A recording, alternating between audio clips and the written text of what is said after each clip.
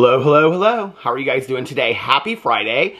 Welcome to Peter's Movie Club, where every week I pick a nostalgic movie from my past and uh, we all watch it together. And then I also react to the movie that I picked from the previous week. Okay, so some administrative work before I get into this. First of all, as you know, all the movies that I pick over here are from the streaming app Tubi. The reason why I pick the streaming app Tubi is because it is a free streaming app. It is available in Mexico, Canada, the United States, and parts of Europe. It is going international, so it should be everywhere before long. Um, no, this is not sponsored by Tubi, but I love Tubi so much. I was actually talking to a friend of mine the other day, and she was telling me some movie that she watched. She's like, you've got to see this movie, and I said, where did you watch it? And she was like, on Tubi, and I was like, oh my god, do you have Tubi as well? She's like, I love Tubi. She's like, Tubi has all the new shows, they have all the new TV, you know, they have everything. And I was like, I know, I love Tubi too. And I said, I just cannot get people to like buy into Tubi. She's like, I know, nobody knows about it, but I love Tubi so much. And um, so I, I, picked that streaming app. A lot of the movies that I pick over here are available in other streaming apps, but, um, and some of them are even available on YouTube.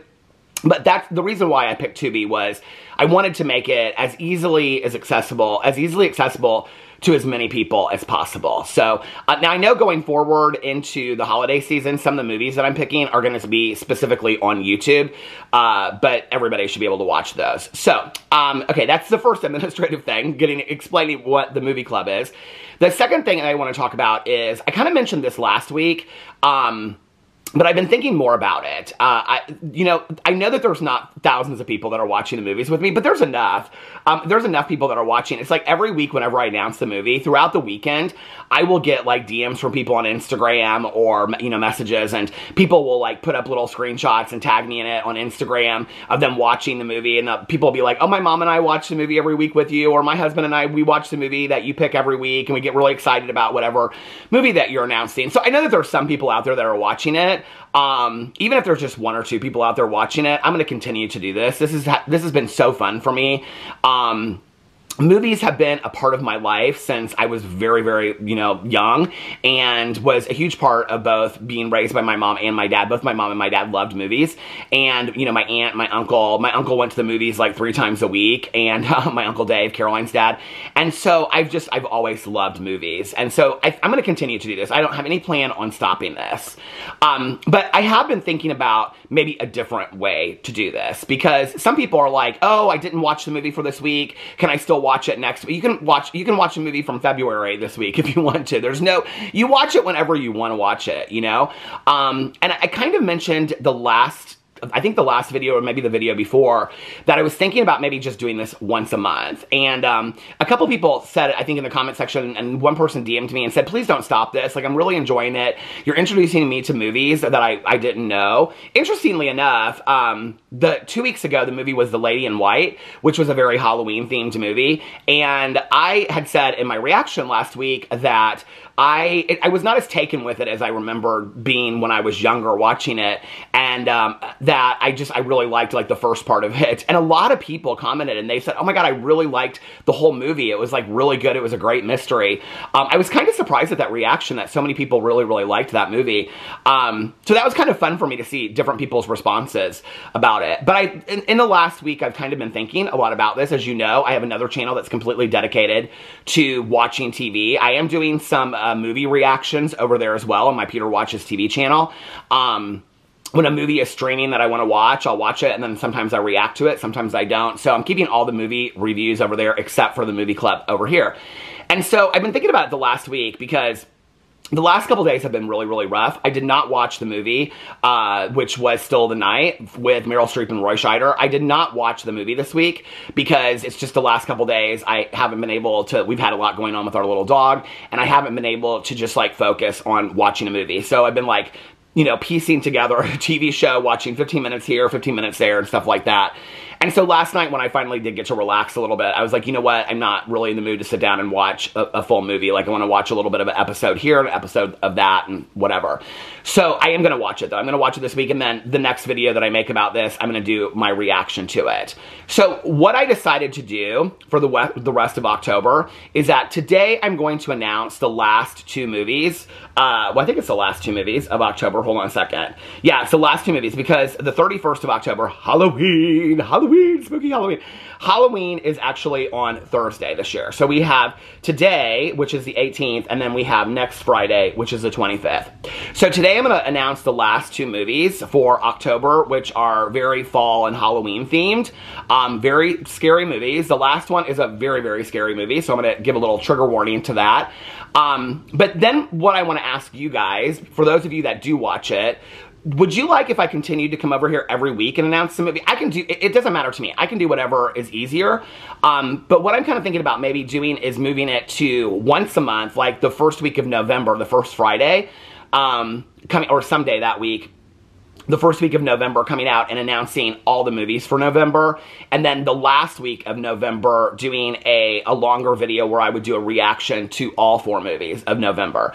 That way you guys could watch them when you want to. You don't, if you have a one week where you're like away or whatever, but just let me know what you want me to do in the comment section below and I'll kind of go with what the majority responds to this. Like if you guys want me to keep on doing it every week, I can do that. Um, if you guys want me to do just like once a month and announce them, I kind of said that earlier I was going to do that where I was going to put in the description box. So if I did do that, I would do the video and then in the description box I would say like these are the movies for November that we're watching. Um, so let me, because I do plan them out kind of a month in advance. I Before I was planning them out like three months in advance, but I changed some things and some of the movies left and all that. So, um, so let me know if that would be easier for you. Okay, so that brings me to what are the movies? What are the movies for the rest of October? Okay, so there are a lot of like scary horror movies that are on Tubi. And so I literally went through all the horror movies, all the thrillers, and anyone that kind of like pulled at my heartstrings a little bit that like at some point in my life like had some kind of meaning to me or I mean with horror movies it's kind of different, but like reminded me of Halloween or reminded me of like I would watch it. Like how I love horror movies and I love scary movies. So a lot of these movies are kind of like, I know this is going to sound strange, but like comfort movies to me. Like the original Halloween, which I would have picked, but it's not over on Tubi. The original Halloween is a movie that I would like put on in the TV while I was like cleaning the house and doing work. Right? It's a comfort movie to me, you know. Like I know that sounds crazy, but a lot of these movies are comfort movies to me. And even if they're horror movies or they're thrillers, so last week I picked Still of the Night, which is a thriller. Um, the week before I picked The Lady in White, which is a Halloween mystery thriller. And so I wanted to pick two horror movies to end the Halloween month on. Halloween is my favorite holiday of life. Um, I love Halloween. And so I wanted to do two movies that for me are kind of like mainstays in Halloween. So I was kind of looking through and I was like, okay, are there not going to be any horror movies on here that are like that? Because a lot of them are like really cheesy. I actually was going to pick um, Elvira, Mistress of the Dark. But I think last year, it was either last year or the year before, but I think it was last year, I watched it for the very first time. I think I even did a video responding to it. And I had never seen the Elvira movies before. And I, I loved it. If you've never, it's not really a Halloween movie though, so much. It's very just campy. If you've never seen the original Elvira, Mistress of the Dark, it is, I think it is on Tubi. Um, I would highly recommend it. It is a fun watch. Um, it's funny because you know you think of like Elvira and how she looks and all that kind of stuff, and you wouldn't think that she's family friendly, but like her, her the movies are, are, rather family friendly, kind of. I mean, they're they're so cheesy, you can't they can't not be. Um, but I love that movie so much. I think the rest of this month I am going to try to watch the other Elvira movies because I haven't watched them. So I was going to pick the Elvira movie, and then there was a couple other movies I was going to pick, but I thought no, just go with like movies that you've seen a bunch of times. Now both of the movies that I picked for uh, the the rest of the Halloween month, the last two movies that I picked are both I've probably seen them, like either have them on in the background while I'm doing other stuff, or like specifically just sat down and watched. Both of them I have probably watched Oh, I don't even know. I've probably watched them both. I mean, at least 30, 30 to 40 times in my life. I've probably, you know, seen both of them. So, and, and, and, that is not an exaggeration at all. Like, I own both of them on VCR. I own both of them on DVR. you know, I think I have uh, one of them I, I, I know that I own because I own this the director's entire collection um, on like my like my iTunes library and stuff like that. And the other one, I mean, you can find it anywhere. So let's get to, and both of these movies you can probably find on other streaming apps this month as well. Okay, so let's get to the movies for this for the rest of this month. Are you excited? Okay, so since I'm not gonna, I'm not gonna be doing another reaction to this. I might do one. I'm, this might be my Halloween. No, because that will be my weight loss journey video. Um, well, on November 1st, which I'll be ready. Then I'll be ready for Christmas. I'll be ready for Christmas on November 1st. Well, maybe on when sometime that last week, maybe I'll do a reaction to these movies. We'll see. We'll see. We'll figure it out. Or maybe I'll do two on that that uh, Thursday on Halloween, and maybe my reaction will be to the spooky movies. So, um, okay, so the first, so these are the last two movies for the rest of October. Watch them in whatever order you want. I will tell you that if you wait until the days before Halloween, it will make it much, much spookier. Um, I think that the first movie that I'm going to pick for you, or the first movie that I, I'm going to, the first movie that I picked, I it's, it's going to sound really strange. It's scarier for me to watch during the day than it is at night. The second movie terrifies me whenever I watch it. Okay, and it still scares me to death to this day. Um, so the first movie that I picked, are you guys ready? Hold on a second. I have it queued up right here, is Children of the Corn, the Stephen King book adapted into a movie. So let's get into it right here. Um, the movie came out in 1984, so I was 12 years old. It is an hour and 32 minutes. It's considered a horror thriller. And it says a young couple find themselves stranded in a rural Nebraska town where they encounter a mysterious religious sect of children and no adults in sight. Okay, so I'm just going to give you kind of like a quick synopsis of what happens in this movie. Um, and I will say there is some gore and there there is some violence and things like that. But what happens is the, the music in this movie is so eerie. Now, I will tell you, if you make it to the end of the movie, the movie gets kind of weird, okay? It gets kind of like uh, paranormal weird a little bit. Um, but the movie is about, if you guys have ever watched it before, do you remember Isaac? Okay, so the movie's about this couple, and they're like on this road trip. I think they're moving or something like that. And they keep on trying to like find the main road, and they keep on going through these like cornfields. And so the guy pulls over, and then there's like this kid that's like running out of the cornfields, and I think they hit him or something like that. And so they like she's like going through his stuff and whatever and so they're trying to like go to this small town to try they go to this town to try to find out like where he's from and whatever to notify somebody. And they go into this town and like the town is dead. like it's like there's nobody there. They find this farmhouse with this little girl. And so what's happened is that all the adults have been killed. And that's the premise for the show. You don't really know why they've been killed. You find that out very quickly. And so there's like this guy and he's like in charge of the town, this kid that's like, well, he's not like five. I mean, he's like in high school, but he's, oh, it's, it's starting. Okay. Um, but he's got like he's got little kids working for him and stuff like that. Um, it's a scary movie, and that's the movie that I can watch. I mean, I could turn the movie on during the middle of the day, and I would be like terrified watching it. I think it's actually scarier to watch during the middle of the day because the majority of the movie takes place during the middle of the day.